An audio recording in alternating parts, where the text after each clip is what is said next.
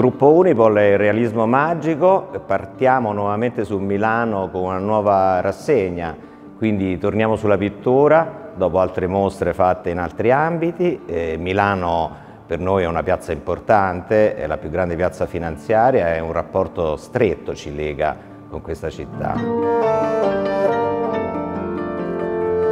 È una pittura di estrema qualità, è una pittura forte, potente, e nello stesso tempo però intima. È una pittura che instilla il senso del dubbio. E quello che vorremmo è che il pubblico che viene a visitare questa mostra si ponesse nell'ottica di guardare la qualità, ma nello stesso tempo di aprirsi a quel mistero sostenuto dall'aggettivo magico che accompagna la parola realismo. Sono immagini che sembrano assolutamente reali, assolutamente chiare, e nello stesso tempo contengono qualcosa di assolutamente misterioso.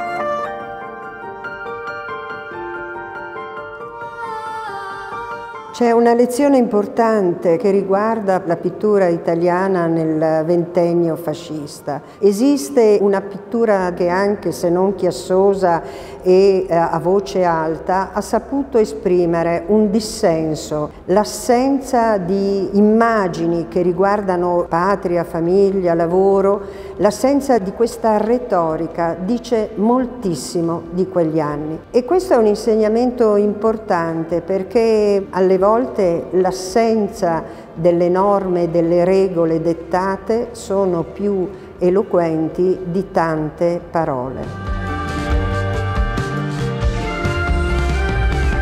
Perché venire a vedere questa mostra? Perché è un'esibizione di pittura di grande qualità. È un'area di libertà che si respira in queste sale, anche se di grande inquietudine e ambiguità. Venite a vedere questa mostra perché Palazzo Reale è uno dei luoghi più belli per vedere pittura, ma soprattutto perché il realismo magico ha come filo conduttore il ritorno alla concretezza, il ritorno all'ordine. In questo momento forse c'è bisogno di un po' di concretezza.